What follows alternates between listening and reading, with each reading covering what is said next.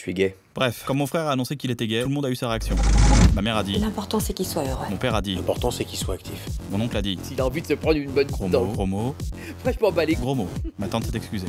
Excusez-le. Ma copine a dit, En tout cas, j'ai plein d'échantillons pour lui. Steve m'a Et dit, toi, du coup, ça t'a fait réfléchir? Kairon a ajouté tous ses contacts filles sur Facebook. Charles a dit, Tu vois, ça, bah, ça, c'est un beau combat. Ben a dit, Ah bon? Pourquoi? Julien a dit, Pas de sa faute. Maud a dit, C'est ma faute. et moi j'ai dit. Parce qu'en fait, je savais pas quoi en penser. Pour moi, il y avait trois types de gays la brute, Salut les copains. la folle Salut les copines et le parano. C'est parce que je suis gay, c'est ça? Non, votre voiture est vraiment sur mon pied, monsieur. Mais comme mon frère a compris qu'il était gay, moi j'ai compris que j'étais con. J'avais envie de lui en parler et de pas lui en parler en même temps. C'est toi qui. Euh, où tu te. Non, dis pas. Si, enfin, si. Non, c'est- c'est quoi, oublie.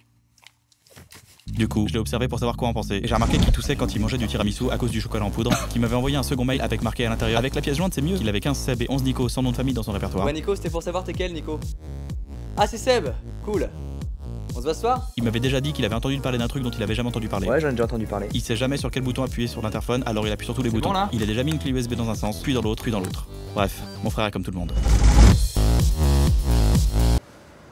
Ah, désolé, parfois je conduis vraiment comme un noir.